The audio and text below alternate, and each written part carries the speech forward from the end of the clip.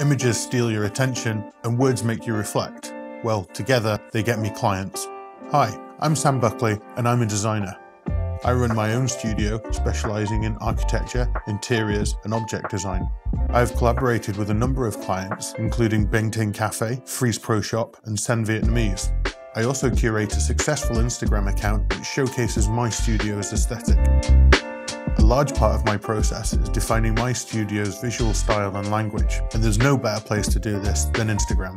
It's not just a social media platform, it's about marketing, art direction, and it's also showing potential clients the kind of projects that I want to work on. All you need is a well defined and recognizable aesthetic. Once you have that, the clients and projects will come. In this Domestika course we'll show you how to attract clients and gain traction in your industry and network. For the final project, you'll curate your own account which shows off your unique aesthetic. I'm going to show you why curating an Instagram can be so important.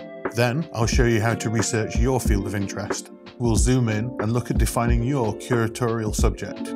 I'll later show you how to select an account format and how to maintain a consistent visual strategy.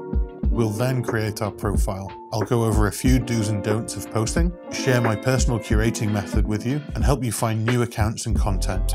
Finally, I'll teach you some tricks to expand your online presence, like using tools for easier curation and putting your data analytics to work.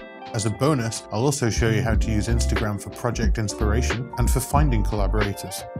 By the end of the course, you'll be ready to turn Instagram into your most powerful marketing tool showcase your style and find the clients and projects that you really want.